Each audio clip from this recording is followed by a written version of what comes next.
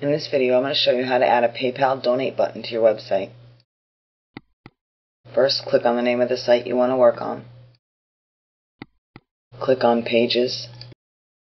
Choose the page group you want to work on. In this case, it's Default Group.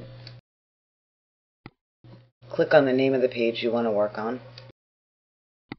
Then either choose Page Layout or the area you want to work on. Once you select the area, then select Page Layout.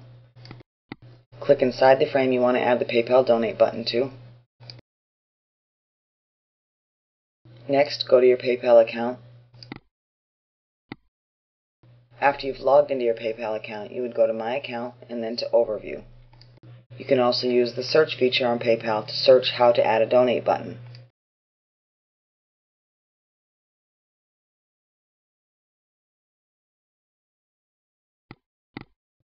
Once you've come to the area to generate the button, highlight the code and click Copy.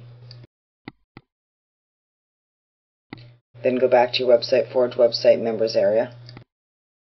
Click inside the frame you want to add the code to.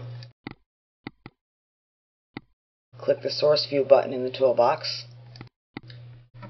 Right click and paste the code into the empty frame. Then click on the HTML View button. Save your page. Then click Preview Page to view this.